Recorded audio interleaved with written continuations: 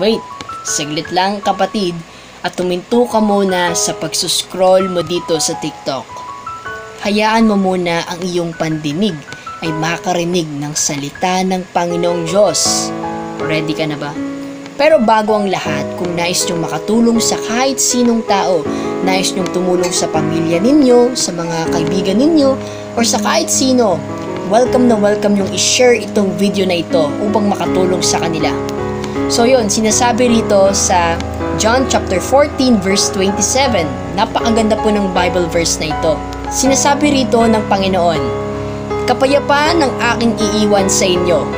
Ang aking kapayapaan ang ibinibigay ko sa inyo. Hindi gaya ng ibinibigay ng sanlibutan ang ibinibigay ko sa inyo.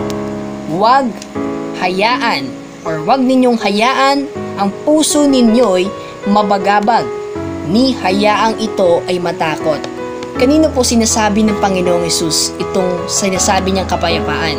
Para po sa atin itong mga tunay na Kristiyano, mga tunay na sumasampalataya, mga disipulo ng Panginoon.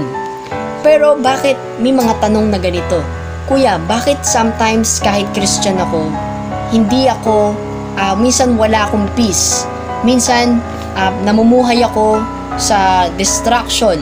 Namumuhay ako sa mga mali, naguguluhan ako at naglilid ito ng depression. Bakit sometimes wala akong peace? Yun yung totally mga ganong tanong.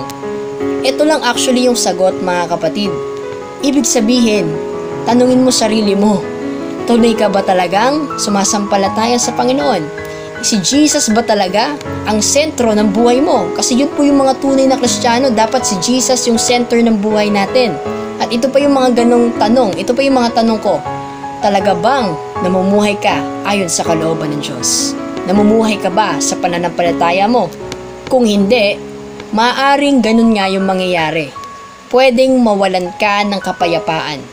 Or maaring hindi mo makukuha or marireceive yung kapayapaan ng ibinibigay ng Diyos sa'yo. Kaya nga po mga kapatid, sinasabi sa Romans chapter 12 verse 2, huwag po tayong umayon sa mga pattern or sa standard ng mundong ito. Kasi nga po, ito yung sanhi. Ito po yung ah, nagiging dahilan kung bakit tayo ay nawawala ng peace kasi umaayon tayo sa makamundo which is naglilid ito sa pagiging magulo.